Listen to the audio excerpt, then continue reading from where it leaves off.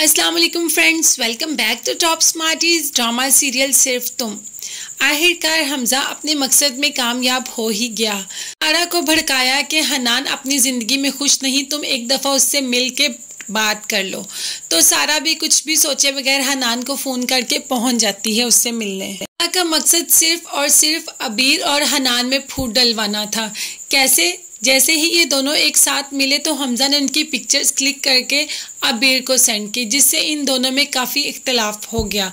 वो इन दोनों को दूर करना चाहता है क्योंकि वो इन दोनों को हँसी खुशी नहीं देख सकता।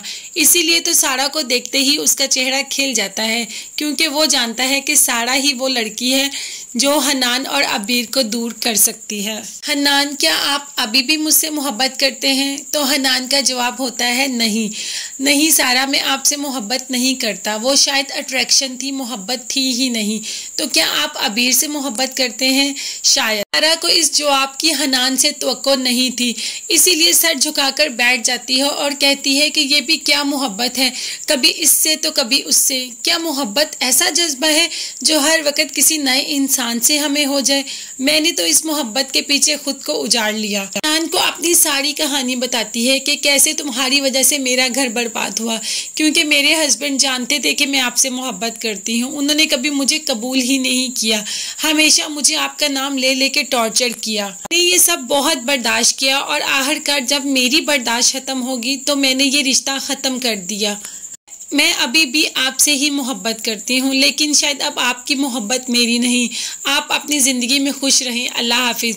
बस ये कहकर सारा वहाँ से चली गई लेकिन हमज़ा अपने मकसद में ज़रूर कामयाब हुआ इस मुलाकात से। अबीर को दुखी देख के नानो का दिल जलता है। नानो उसको रोता हुआ नहीं देख सकती। नानो जानती हैं कि अबीर से बहुत ज़्यादा मोहब्बत करता है हनान, लेकिन पता नहीं क्यों एक दूसरे से कह ही नहीं पाते। हनान आता है तो अबीर से कहता है, मुझे आपसे बात करनी है। तो अबीर रोना शुरू कर देती है। अबीर पता नहीं क्यों इनसिक्योरिटी का शिकार है कि हनान सारा के पास वापस चला जाएगा उसे छोड़ के। उसको हमेशा इस चीज़ का डर लगा रहता है कि पहले उसको हमजा ने छोड़ दिया, अब उसको हनान भी छोड़ देगा सारा के लिए। इसीलिए अबीर उनको मौका ही नहीं देती कुछ बोलने की। और बस इसी डर में कह देती है कि आप अपनी सारा के पास वापस जाना चाहते हैं, मैं जानती हूँ। आप उसके पास वापस चले जाएँ, छोड़ दें मुझे। लेकिन हनान ऐसा कुछ नहीं चाहता। कैसे समझाए अबीर को? अबीर बिल्कुल समझना चाहती ही नहीं। क्या अबीर को यकीन आ जाएगा कि हनान उसे सच में मोहब्बत करते हैं? क्या उसको ये यकीन होगा कि वो सारा को छोड़ आए हैं? कैसे यकीन दिलाएगा हनान इसको? क्योंकि अबीर कुछ भी सुनने को तैयार ही नहीं है।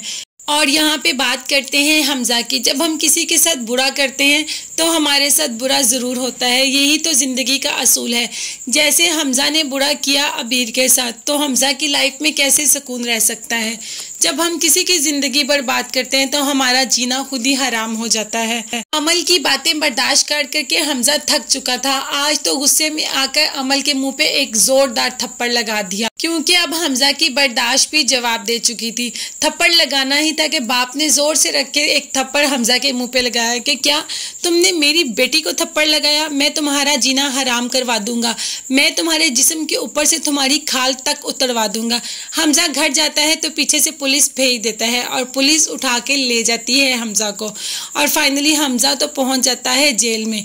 ये देखकर हमें वैसे खुशी तो हो रही है कि आखिर हमजा को उसकी किए की सज़ा तो मिल रही है। उसको एहसास तो हुआ कि उसने किसी के साथ गलत किया और अमल जैसा लाइफ पार्टनर उसकी ज़िंदगी में क्या क्या कर सकता है। अब तो उसको एहसास भी हो रहा है कि अबीर जैसी अच्छी लड़की को छोड़कर अमल जैसी लड़की से शादी क्यों की? ये उसकी ज़िंदगी का सबसे बदतरीन फैसला था। खैर ये सब तो चलता रहेगा। हमें तो सबसे ज़्यादा इंटरेस्ट अबीर और हनान की लाइफ में है। क्या हनान अबीर को अपनी मोहब्बत का एहसास दिलवा सकेगा? या वापस चले जाएगा सारा के पास? अबीर की कड़वी बातें उसको दिल पर चुपती हैं। क्या इन्हीं बातों के चलते वो सारा के पास वापस चला जाएगा? उसको इस बात का एहसास होगा कि सारा ने उसकी वजह से अपना रिश्ता खराब किया। सारा उसकी वजह से वापस आई। क्या इन बातों का एहसास होगा जब तब हनान वापस चला जाएगा सारा के पास? तो ये सब बस और बस अबीर का वहम है। ऐसा कुछ भी नहीं होगा। हनान कभी भी वापस नहीं जाएगा सारा के पास, चाहे जो भी हो। सारा ने कहा भी था कि वो सिर्फ़ अट्रैक्शन थी। आपको कभी मेरे से मोहब्बत थी ही नहीं। तो सारा ने बिल्कुल ठीक कहा था। हनान को मोहब्बत थी ही नहीं सारा से। और हनान कभी भी सारा के पास वापस नहीं जाएगा। आप मुझे कमेंट्स में बताएँ कि आप क्या चाहते हैं? कि हनान सारा के पास वापस चला जाए या अबीर के पास ही रहे? मुझे आपके कमेंट्स का भी इंतज़ार रहेगा। उसके अलावा मेरे चैनल को ज़रूर सब्सक्राइब कीजिएगा और अपना बहुत ज़्यादा ख्याल रखिएगा। मुझे भी दुआ में याद रखेगा अल्लाह हाफिज़। Bye bye take care